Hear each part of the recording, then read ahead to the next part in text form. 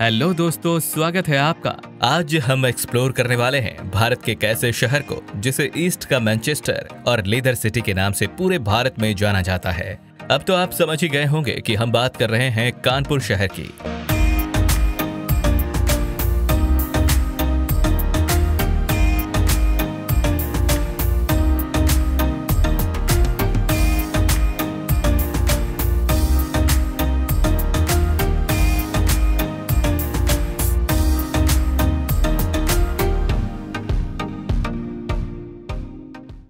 कानपुर, भारत के उत्तर प्रदेश राज्य में स्थित एक मेजर इंडस्ट्रियल और कमर्शियल शहर है, जो राज्य की वित्तीय राजधानी भी है।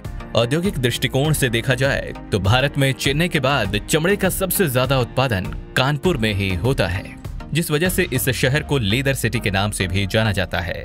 करीब सात बिलियन डॉलर जीडीपी के साथ कानपुर में बिस्किट, केमिकल और टेक्सटाइल इंडस्ट्री के साथ साथ यहाँ इंडियन इंस्टीट्यूट ऑफ़ टेक्नोलॉजी और भारत का एकमात्र Indian institute of pulses research centre भी मौजूद है।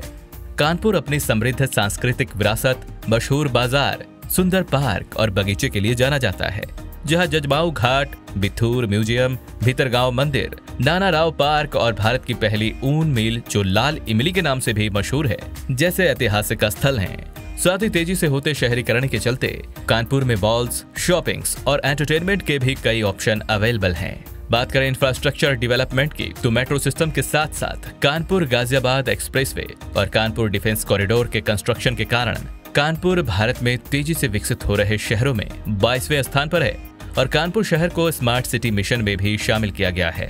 गंगा नदी के किनारे स्थित कानपुर शहर लगभग 890 स्क्वायर किलोमीटर एरिया में फैला हुआ है, जहाँ करीब 45 लाख लोग रहते हैं और कानपुर में रहने वाले लोगों को कनपुरिया भी कहते हैं, जो ज़्यादातर हिंदी, भोजपुरी और अवधि भाषा में बातें करते हैं।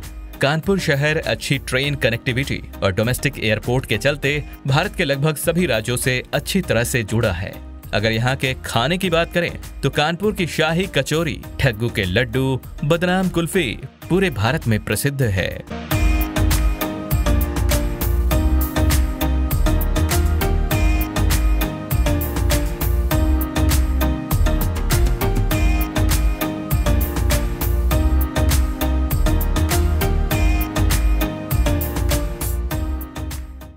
तो आशा करते हैं कि आपको ये वीडियो पसंद आई होगी। और अगर आप भी अपने शहर का वीडियो चैनल पर देखना चाहते हैं तो चैनल को सब्सक्राइब करके अपने शहर का नाम कमेंट करना ना भूलें। मिलते हैं नेक्स्ट वीडियो में। जय हिंद।